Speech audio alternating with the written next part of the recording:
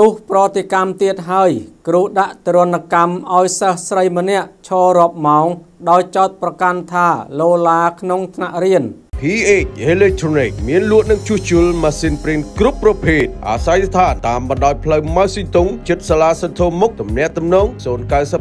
34 56 31វីដេអូថ្មីមួយដែលកំពុងរីករាលដាលនៅលើបណ្ដាញសង្គមបានបង្ហាញទស្សនវិជ្ជាសិស្សស្រីម្នាក់ត្រូវបានគ្រូដាក់ទណ្ឌកម្មឲ្យឈររហូត4-5ម៉ោងបានបង្កឲ្យមានការវែកញែកចម្រូងចម្រាសក្នុងនោះ មានមតិភាគច្រើនមិនពេញចិត្តចិត្តចំពោះទង្វើរបៀបនេះរបស់គ្រូឡើយបើតាមប្រភពវីដេអូចែករំលែកបានឲ្យដឹងថា កាលពីថ្ងៃទី9ខែមិនិនាឆ្នាំ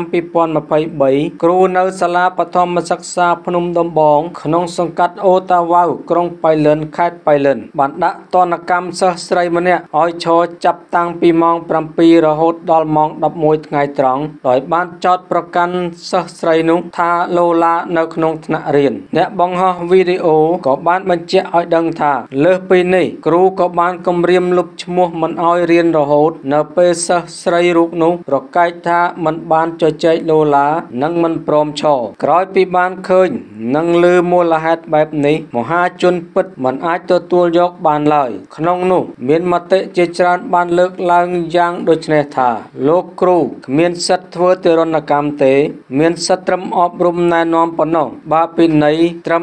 15នាទីល្មមតែបើឲ្យគ្នាឈរច្រើនម៉ោងបែបនេះជ្រុលពេកហើយឈរយូរបែបនេះបើសិនក្មេងមានបញ្ហាសុខភាពដូចជាខ្សោយបេះដូងអាចដួលសន្លប់បាន តែទន្ទឹមនឹងនោះដែរក៏មានអ្នកលេងមួយចំនួន បានលើកយកការដាក់ទណ្ឌកម្មរបស់គ្រូសម័យមុន មកប្រាប់ឲ្យដឹងថាប៉ុណ្ណឹងនៅស្ទើរណាស់កាលពីចំនួនខ្ញុំលើសនឹង10ដង គ្រូឲ្យលុតជង្គង់និងសម្បកខ្នុលផងមិនទៅទោះជាយ៉ាងណា គេក៏សំណូមពរដល់មន្ទីរអប់រំខេត្តសូមជួយពិនិត្យលើករណីនេះផង ព្រោះថាការដាក់ទរណកម្មធ្ងន់ធ្ងរបែបនេះវាធ្វើឲ្យប៉ះពាល់សិទ្ធិទទួលបានការអប់រំយ៉ាងខ្លាំងពិតមែនហើយ ការដាក់ពិន័យគឺការត្រឹមត្រូវក៏ប៉ុន្តែបើជ្រុលពេកគឺជាការមិនសមប្រពៃឡើយដូចសុភាសិតថា គ្រូកាចសិស្សខូចប៉ុន្តែសិស្សខូចទៅបានជាគ្រូកាច